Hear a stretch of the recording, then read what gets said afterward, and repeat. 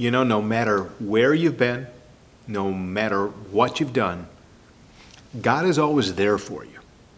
There for you, welcoming you home with, with open arms. And that is always good news, isn't it? Always good news that even if you find yourself in a place that you don't really want to be, that God's always there for you.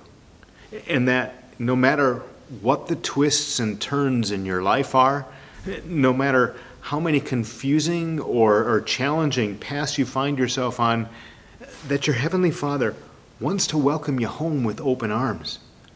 I mean, Jesus made that point in a story that we call the prodigal son. Now, now, the outline of the story might be familiar to you because it's one of the most famous stories that Jesus ever told. A young man leaves home, uh, lives it up, loses everything, ends up living on the streets, eventually makes his way back home. The prodigal returns. And what he finds as he returns is he's welcomed back by the father with, with open arms. But the word prodigal itself, maybe not quite as familiar outside the, the title of the story. I mean, I kind of thought from the context, I, I, knew what prodigal meant, but I thought I'd better look it up anyway. And when I did, I found this kind of two word uh, definition. Prodigal means recklessly extravagant. And I kind of thought I knew what extravagant meant too, and you probably do as well. You probably got some good examples of that. But again, I, I looked it up. Let me read you that definition of extravagant exceeding the limits of reason or necessity, lacking in balance, moderation, and restraint, spending much more than necessary. So, for the purposes of this conversation that we're into today, I, I want to condense that into something that's maybe a little easier to remember. Okay? Prodigal equals radically extravagant or recklessly extravagant equals uh, over the top. Over the top. And that certainly applied to how the younger son in Jesus' story led his life and dealt with his inheritance. But let me ask you this Are there other characters in the story to which that same designation, prodigal, um, recklessly extravagant, over the top could, could apply? Let's see. You find the story in, in Luke chapter 15. Listen. Jesus continued There was a man who had two sons. The younger one said to his father, Father, give me my share of the estate. So he divided his property between them. Not long after that, the younger son got together all he had, set off for a distant country, and there squandered his wealth in wild living. After he had spent everything, there was a severe famine in that whole country, and he began to be in need. So he went and hired himself out to a citizen of that country, who sent him to his fields to feed pigs. He longed to fill his stomach with the pods that the pigs were eating, but no one gave him anything. When he came to his senses, he said, How many of my father's hired servants have food to spare, and here I am starving to death? I will set out and go back to my father and say to him, Father, I have sinned against heaven and against you. I am no longer worthy to be called your son. Make me like one of your hired servants. So he got up and went to his father. But while he was still a long way off, his father saw him and was filled with compassion for him. He ran to his son, threw his arms around him, and kissed him. The son said to him, Father, I have sinned against heaven and against you. I am no longer worthy to be called your son. But the father said to his servants, Quick, bring the best robe and put it on him Put a ring on his finger and sandals on his feet. Bring the fatted calf and kill it. Let's have a feast and celebrate. For this son of mine was dead and is alive again. He was lost and is found. So they began to celebrate. Meanwhile, the older son was in the field. When he came near the house, he heard music and dancing. So he called one of the servants and asked him what was going on. Your brother has come, he replied, and your father has killed the fatted calf because he has him back safe and sound. The older brother became angry and refused to go in. So his father went out and pleaded with him. But he answered his father, Look, all these years I've been slaving for you and never disobeyed your orders. Yet you never gave me even a young goat so I could celebrate with my friends. But when this son of yours, who has squandered your property with prostitutes, comes home, you kill the fattened calf for him. My son, the father said, You are always with me, and everything I have is yours. But we had to celebrate and be glad because this brother of yours was dead and is alive again. He was lost and is found. Now, Jesus first told this story to Pharisees.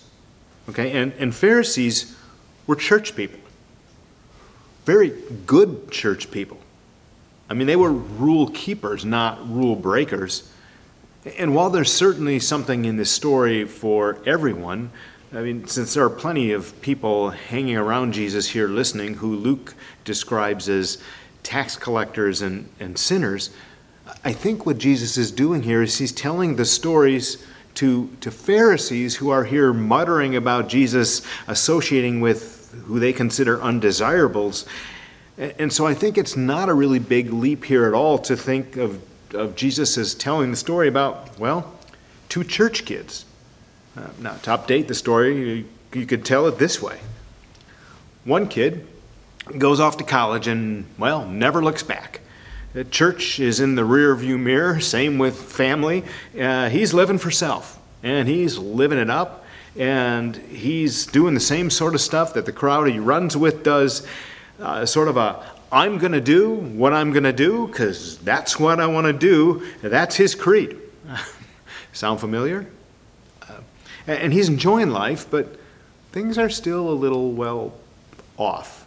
And uh, there's still a lot of emptiness in his life that isn't being filled by all this, and that's going to become quite evident to him when, well, life happens. Uh, the other kid, well, he stays home. He's still in church most of the time. He helps out both at church and at home. Uh, he probably plays in the band or sings in the choir. Everyone would look around and call him good, so he's living, well, the right life but, but something's still, again, a little off. And there's not a whole lot of joy in his life, and his heart's starting to get sort of hard and judgy. And both these men are what I'd call, well, prodigal, recklessly extravagant, over the top. What I mean by that? Well, well, son number one, he's recklessly extravagant. He's over the top in doing it my way. And son number two, well, if you follow the story to the end, he's recklessly extravagant and over the top in rigidity and rule keeping and, and what I'd call a joyless judginess. And, and while they seem at first glance to be like total opposites in, in behavior, their issues actually end up being quite similar. And both sons are in the wrong. And both their choices end up being bad ones, which is part of the point that Jesus wants us to see here. The younger brother's issues I deserve this because I'm your kid. That's entitlement. Um, what's with these rules and, and, and restrictions and, and boundaries, this, this moral compass? It's so confining, it's just cramping my style, which is resentment. And it's my life to do with as I please. I just want to find myself. I want to define myself, which is I'm going to live for me and for me alone. Uh, which, well, with the younger son didn't really end up working out very well, did it? I mean, the younger son ended up a long way from home and no real idea if he could figure out how to get back home if, if they'd even accept him back. He, he hadn't realized how good he'd had it at home in the Father's house. And, and when he did, he, he begun to think that well, maybe it was too late. Now, the older brother, he made different choices. He decided to stay home, and on first reading of the story, you'd say, yeah, he made better choices. He stayed home the whole time. But again, if you read to the end of the story, what you find is the older brother's issues were pretty much the same as the younger brother's issues. Uh, I deserve this because I stayed home, because I slaved for you, because I did all this stuff for you. That's what? That's entitlement too. And the, didn't you notice, Dad, what I did? Uh, shouldn't I get a bigger and better reward? It's not fair. That's resentment. Resentment not just of the younger brother, but, but resentment of the father's love. I mean, and then this last one, well, I performed pretty well. I performed really well. So if I want to be harsh, I'm going to be harsh. If I want to be judgmental, it's within my rights. If I don't want to forgive, I don't have to, because, well, that's I live for me and, for me alone. Results of that? Well, the older son ends up being frustrated and angry and bitter, and where is he? He's outside the house while the celebration's going on outside the father's house, which is the exact same place that the younger son was at the beginning of the story. Seems to me as if entitlement and resentment and I'll live for me and me alone, that those aren't really something to be over the top about, uh, no matter where in your life that seems to pop up. Take a few minutes to stop and reflect on that before we move on in this conversation. Ask yourself which of those things, entitlement or resentment or I'll live for me, do you find to be the most challenging? And then follow that up with talking about this. Which of the sons in the story, the younger son or the older son, do you find yourself identifying with more? Go ahead and hit pause and do that right now.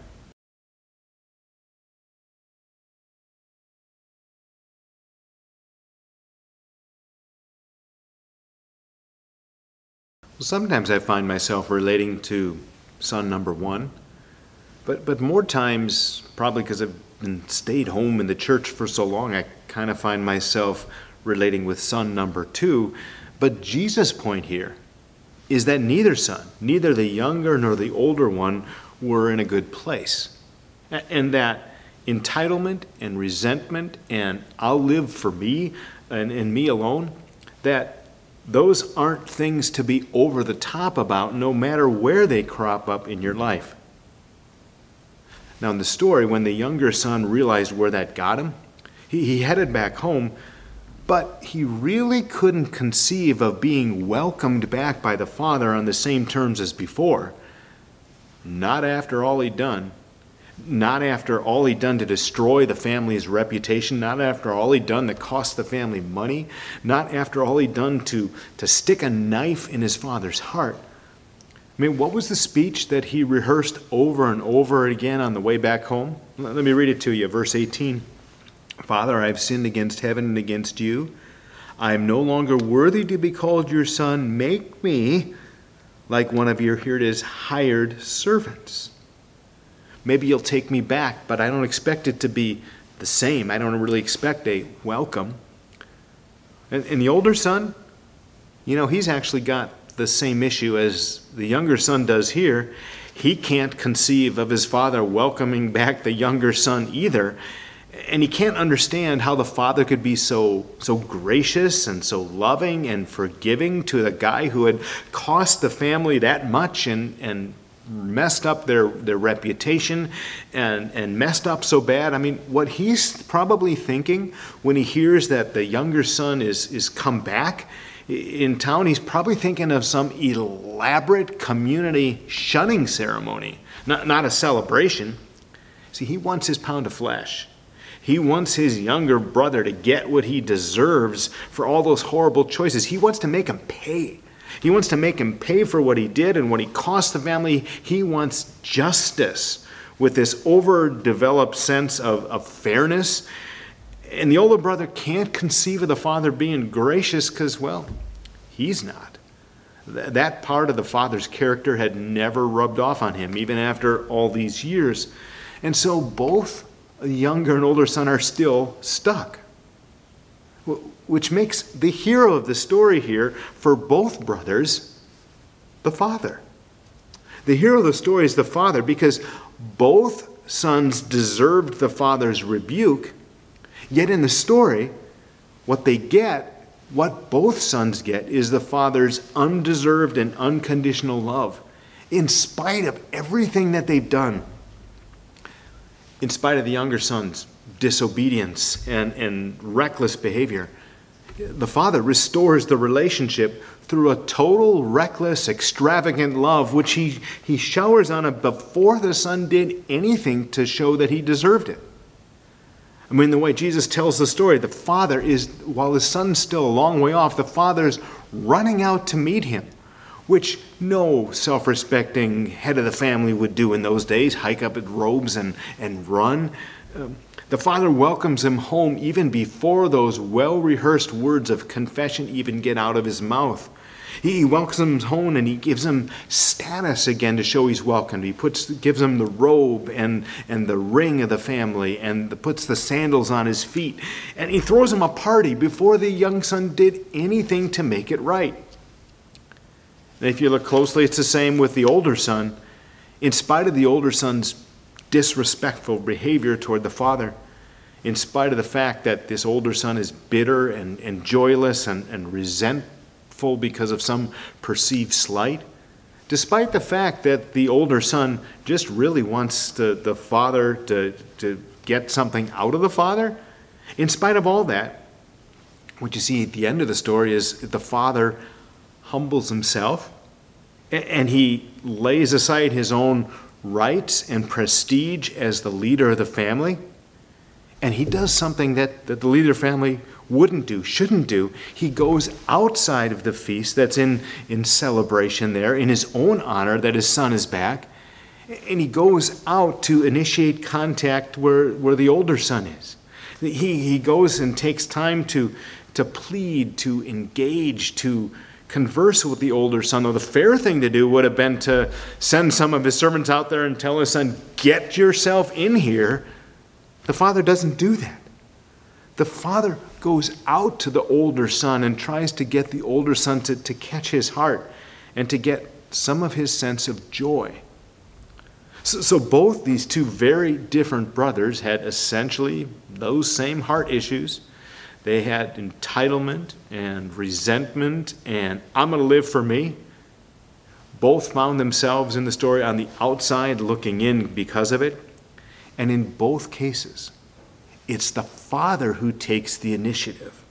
The father who takes the initiative to fix things, to restore the relationship, to make it right, to help them experience joy. And you know what? Now I think we're getting somewhere.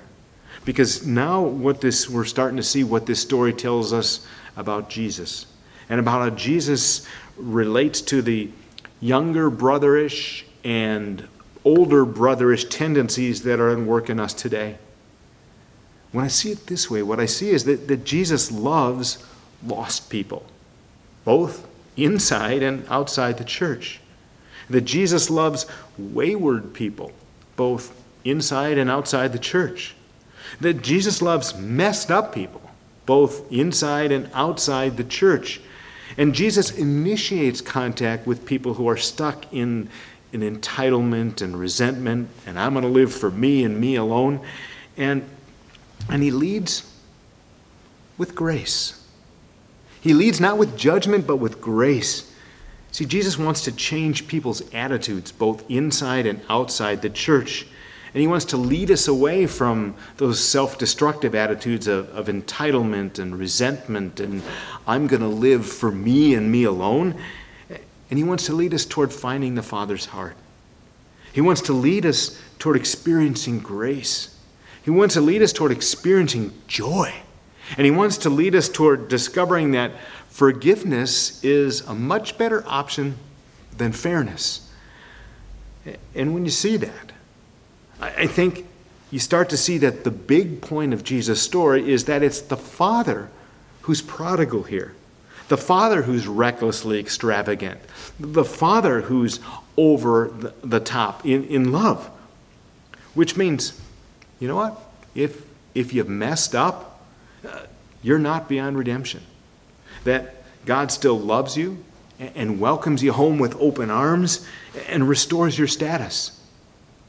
It means you can start fresh. It means you can live better. Grace is actually that powerful. And if you find yourself being resentful of others and the mess that they've made, uh, not only of themselves, but of you and the family, if You find yourself sort of resenting God's love for others even though you know that you really shouldn't? Well, Jesus is telling you that you too can change. And you too can start fresh. And you too can find joy again. You can even move beyond that overdeveloped sense of, of fairness that leaves you so frustrated. What he's saying is if you've really messed up and made a bunch of bad choices, you can know that this is who God is. The Lord is gracious and compassionate, slow to anger, abounding in steadfast love. He doesn't treat us as our sins deserve. And if you've really messed up and been too harsh toward other people, Jesus is saying you can know the same thing. The Lord is gracious and compassionate, slow to anger and abounding in steadfast love, and He doesn't treat us as our sins deserve. I think that what Jesus wants us to see is that the Father is the real hero of the story. That yes, the younger son is a prodigal, the older son is prodigal, but the father is also a prodigal. In fact, you could say that the father here in the story is the prodigal. The prodigal who's recklessly extravagant and over the top in grace and mercy and forgiveness. The father who's radically extravagant, uh, recklessly extravagant, and over the top in joy and celebration. The father who's recklessly extravagant and over the top in love.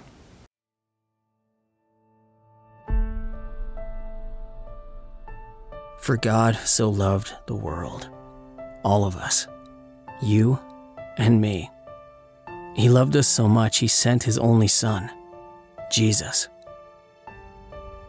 the firstborn of creation, sent to take our place, to bear our burden, to suffer our consequence. We were far from God.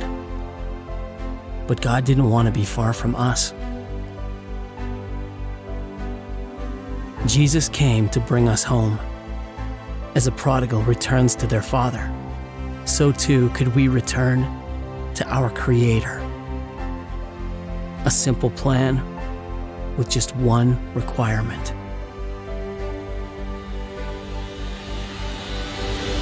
Belief. For whosoever believes in him will not perish, but will have life. Life eternal. At the very heart of God is love. Indescribable, unrelenting, unstoppable love. That love shines a light guiding us home. For God so loved the world.